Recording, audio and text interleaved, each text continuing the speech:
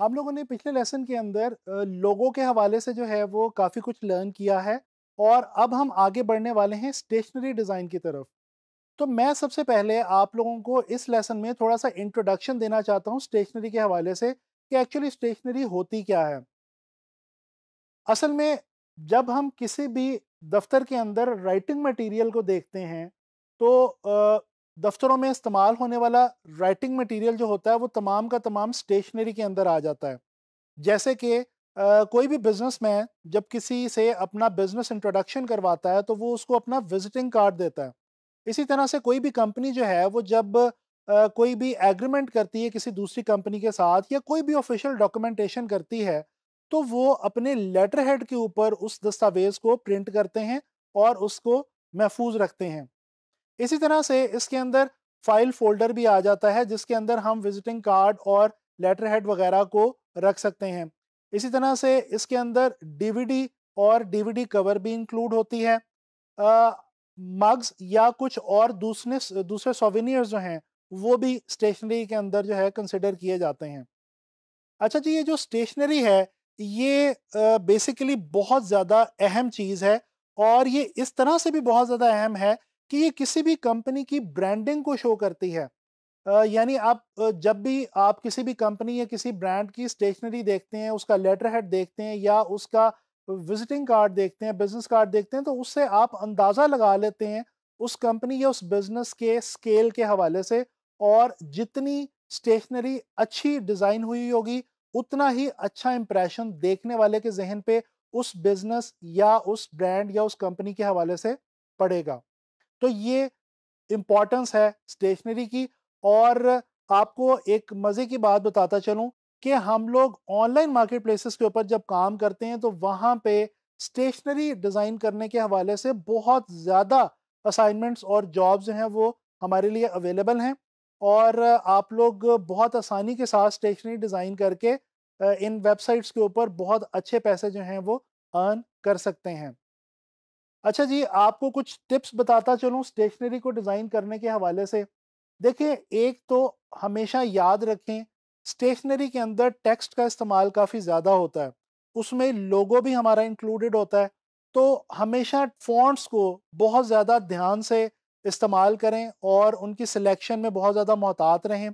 इसी तरह से कलर्स आपकी स्टेशनरी के अंदर वो कलर्स होने चाहिए जो आपके क्लाइंट के बिज़नेस को शो करते हों।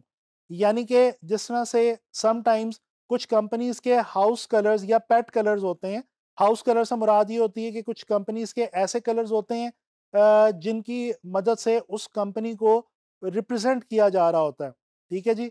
तो कोशिश करें कि हाउस कलर्स का इस्तेमाल करें किसी भी कंपनी की स्टेशनरी बनाते हुए और वो ऐसे कलर्स हों जो उस बिज़नेस से रिलेटेड हों। यानी अगर रेस्टोरेंट की स्टेशनरी बना रहे हैं फॉर एग्जांपल तो कलर्स ऐसे यूज़ करें जो रेस्टोरेंट को या खाने पीने के मामले को जो है वो रिप्रेजेंट करते हो। इसी तरह से अगर आप ब्यूटी सैलून की स्टेशनरी डिज़ाइन कर रहे हैं तो ऐसे कलर्स का इस्तेमाल करें जो ब्यूटी या ग्लैमर के हवाले से रेलिवेंट कलर्स हों। अच्छा फॉन्ट्स और कलर्स के अलावा जो आप स्पेस को आप किस तरह से अपनी स्टेशनरी डिज़ाइन करते हुए मैनेज करते हैं, ये भी बहुत ही ज़्यादा इंपॉर्टेंट बात है। हमेशा कोशिश करें कि स्टेशनरी में बहुत ज़्यादा चीज़ें इस्तेमाल ना करें। पॉजिटिव और नेगेटिव स्पेस का जो है वो बहुत बेहतरीन तरीके से इस्तेमाल करें और साफ़ सुथरी नीट क्लीन जो है वो स्टेशनरी डिज़ाइन करें। चाहे आप विजिटिंग कार्ड डिज़ाइन कर रहे हों, चाहे आप लेटर हेड डिज़ाइन कर रहे हों फ़ाइल फोल्डर डिज़ाइन कर रहे हों इन्वेलप डिज़ाइन कर रहे हों या डीवीडी कवर डिज़ाइन कर रहे हों, इस बात का ख्याल रखें कि कुछ नेगेटिव स्पेस स्टेशनरी के अंदर लाजमी होनी चाहिए। अच्छा एक और टिप ये है कि कलर्स में कोशिश करें कि ग्रेडियंट्स का इस्तेमाल थोड़ा कम करें और फ्लैट कलर्स जो हैं, उनकी मदद से अच्छा इंप्रेशन क्रिएट करने की कोशिश करें। इस तरह से भी आपकी जो स्टेशनरी है, वो बहुत ज़्यादा इंटरेस्टिंग हो सकती है। इसके अलावा जो टेक्स्ट यूज़ करें और जो ग्राफिक्स यूज़ करें, वो बहुत हाई क्वालिटी के होने चाहिए और वो वेक्टर फॉर्म के अंदर हों तो बहुत ज़्यादा बेहतर है। और अडोबी इलस्ट्रेटर जो है, वो हमारे पास एक बहुत बेस्ट चॉइस है स्टेशनरी डिज़ाइन करने की। और इसी सॉफ्टवेयर के अंदर हम आम तौर पे मार्केट में स्टैंडर्ड जो है, वो अडोबी इलस्ट्रेटर ही है स्टेशनरी डिज़ाइन करने के लिए। और इसकी मदद से हम बहुत खूबसूरत स्टेशनरी जो है, वो डिज़ाइन कर सकते हैं। तो आप लोगों को मैंने कुछ टिप्स भी दे दी स्टेशनरी डिज़ाइन करने के हवाले से। और आप लोगों को मैंने इंट्रोडक्शन भी दिया कि स्टेशनरी बेसिकली है क्या? और अगेन मैं आप लोगों को बताता चलूँ, आपके क्लाइंट्स के लिए आपकी जो उस, उनकी जो स्टेशनरी है, वो उनके बिज़नेस की एक रिप्रेजेंटेशन है। तो हमेशा कोशिश करें कि उस रिप्रेजेंटेशन को बहुत ध्यान के साथ डिज़ाइन करें, बहुत अच्छे तरीके से डिज़ाइन करें, ठीक है? और आप लोग कुछ एग्जांपल्स आप लोगों को मैं दिखाना चाहता हूँ।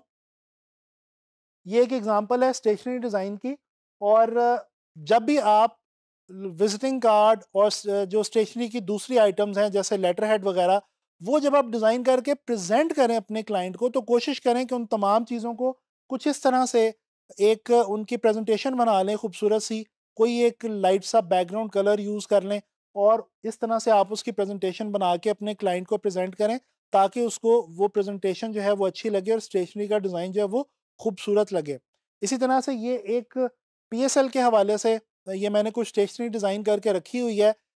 ये भी एक आप उसकी प्रेजेंटेशन देख सकते हैं। इसमें आपको नज़र आ रहा है कि letterhead visiting card and envelope DVD वगैरह, ये तमाम चीज़ें बिज़नेस कार्ड वगैरह तमाम चीज़ें मौजूद हैं। आने वाले लेसन्स में हम इसी तरह से स्टेशनरी जो है, वो डिज़ाइन करना सीखेंगे और ये जो डिफरेंट मैंने मटेरियल्स आपको बताए हैं, जिस तरह से बिज़नेस कार्ड या visiting card letterhead envelope और डीवीडी कवर वगैरह इनको हम टर्न बाय टर्न एक एक करके इनके स्टैंडर्ड साइजेस के साथ डिज़ाइन करना सीखेंगे आने वाले लेसन में। तो मैं उम्मीद करता हूँ कि आप लोगों को स्टेशनरी के हवाले से बेसिक बातें पता चल गई होंगी। बाकी नेक्स्ट लेसन में इन ताला स्टेशनरी के हवाले से मज़ीद बात होगी।